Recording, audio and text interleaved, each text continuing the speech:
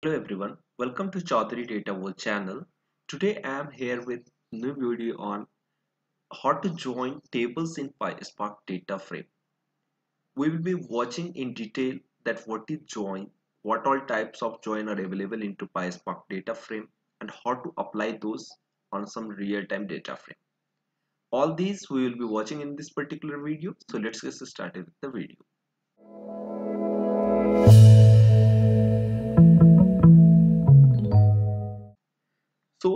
Very first question comes to anybody's mind that what is even joins?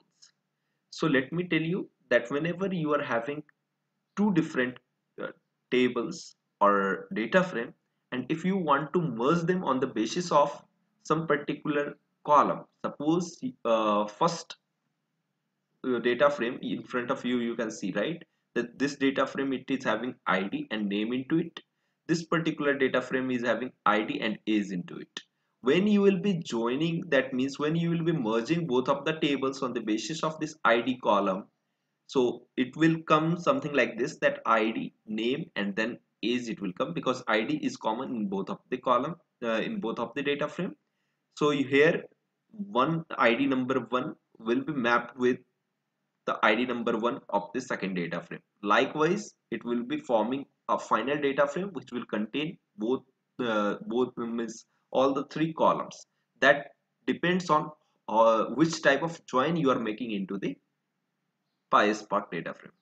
So another question that what all type of joins are available even into the PySpark because there are multiple ways to join these both tables that means if we want to suppose keep only rows from this particular table left table not from the right table we want to suppose keep suppose there is some condition in which we want to keep right table uh, rows uh, but not from the left table rows.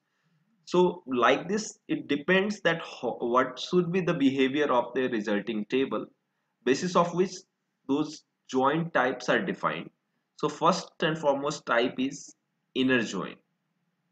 So let me show you that uh, inner join is suppose something like this that when you are having both of the data frame in front of you and then in you are taking all the rows which are common in both of the data frame. That means this data frame 1 it is there it, this is data frame 2 you can see that id1 and id2 is only common in both of the data frames. 3 is and 4 is not common in each of them so it has just taken up id number 1 id number 2 and mapped it accordingly that whatever the name is id number 1 having name is rohan id number 2 name having vicky. So it has taken up like that and then age against that. So id number 1 age is 25 id number 2 age is 30 so it has just mapped like that. So it was the inner join eh, eh, which is available. Now a, a left join i will explain all the concepts including how to apply them in uh, on real-time basis let's go ahead with first inner join. So in inner join you can see that what we are doing we are uh, let me first tell you that we are a, uh, we are taking up df1 that is data frame 1 in which i am storing the id and the name. So there are three datas in available into this particular data frame with having two columns into it that is id and name. Now there is another data frame that is df2 which is having id and then age so there are basically three data into it as well with having column name as id and age so once we are done with that we are showing up showing it up that df1 and df2 dot show. It has given you the result that df1 is looking something like this which is having id and name column and 3 data into it. Similarly for the df2 it is having id 124 and age is according to that. So this is how our data frame looks like. Now let's jump to that how to apply each of the joins available into uh, PySpark data frame and how to apply on the code basis. So first I have just for demonstration purpose I have taken df1.show again and df2.show another part which we are dealing up with that inner join. Inner join is nothing which i told you that common data you need to put out from df1 and df2 into a output resulting data frame. So there i am creating a df underscore inner uh, data frame which is just taking up this particular syntax. That means df1 on df1 what we are doing we are using dot join method which is expecting two para uh, basically three parameters. That means which data frame should be joined with this df1 so we are going to join df2 correct? And on the basis of which particular column it will join? So you should provide on equals to id or something else if another case if you are having some another common data into both of the table. That means common uh, a common column into both of the table. That means id it is available into first data frame as well. Id is available into second data frame as well. So on id we are making the join. And how we are going to join it? So it's the behavior which you need to provide it here that it should be a inner join. So how is equals to inner? That's it. You are good to go to show the data frame whatever the resulting data frame it is seems to be. So df inner dot show will show show up what the data frame that output data frame looks like. So here you can see that the common data from both of the data frames it has been pulled out and put it into the output resulting data frame. So it is here in front of you. Now moving ahead with the second one that is the this left date uh, left join. It's basically a left join.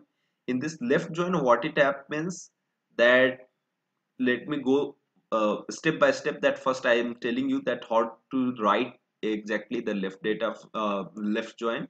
So it's nothing but similar to that uh, inner join. Only thing here change is that how equals to left. The behavior only you will make it change else each of the parameters and the methods will remain same. So once you are done with that you can see here that you are in front of you you are having this df1 which is having 1 2 and 3 as id with having corresponding names. And in this particular one there is id 1 2 and 4 here you can see that in data frame 1 it is id 3 and here the, it is having id 4 1 and 2 is common. Apart from that 3 and 4 are not common. So when we are making left join what left join will do left join will take all the data from the left table. For this particular scenario what is the left table? The left table is df1 so it has taken all the data from df1 but not the uncommon data from the df2 uncommon data is 4 right? So it is not picking up the data which is having id as 4 it is only taking up the ids whatever available into the df1 and uh, and common data into the df2 hope you are getting this uh, slight difference between all those joins so the, here you can see that 1 2 and 3 is available with having all the names and an age. The third data which is uh, Manoj he, it's uh, corresponding to this particular ID there is no age into this df2 so it has mapped it as null. That means it is not able to fetch the age from df2 for this particular data hope it is clear to you. Now moving ahead with another join that is right join direct opposite to the left join whatever we did it for the left table means whatever common data we have taken from the left table this time we, we are taking common data and all the data from the right table and we are making the resulting data frame. So here you can see that we are having the first data frame and syntax wise the difference is only on the behavior. That is how how equals to right it will be there. Otherwise everything will remain same as it is coming from the inner join so here you can see that first one is the uh, data frame which is having the third data again as Manoj and fourth as the uh, miss there is only difference that is id 3 is available in df1 id 4 is uh, uh, is available in df2 and the resulting data frame we are we can see that this time we need to pick all the data from right data table. That means we will be picking all the data from the df2 since it's a right join and the common data from the df1 so common data is 1 2 correct?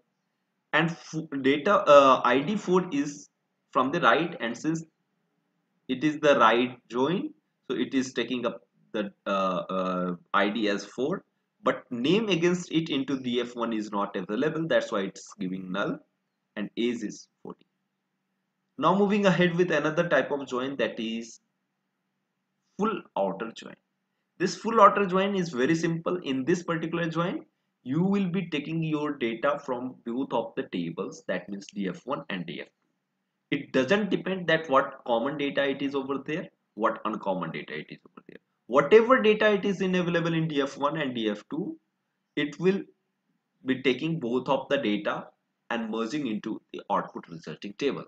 So you can see here that df1 and df2 seems to be like this and the resulting table which will be containing all the IDs that means 1 2 3 and 4 and whatever data it will not get corresponding to each other it will map there as null.